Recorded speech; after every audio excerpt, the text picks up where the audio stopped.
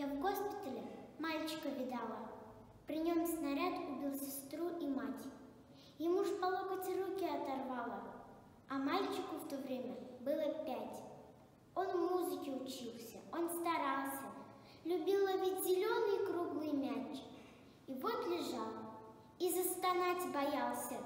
Он знал уже, в бою постыден плач. Лежал тихонько на солдатской койке, обрубки рук вдоль тела протянув. О, детская, немыслимая стойкость, проклятие, разжигающим войну, проклятие тем, кто там, за океаном, за бомбовозом строит бомбовоз и ждет невыплаканных детских слез, и детям мира вновь готовят раны. О, сколько их, безногих и безруких, как гулко в черствую кору земли, походя на все земные звуки, стучат коротенькие костыли.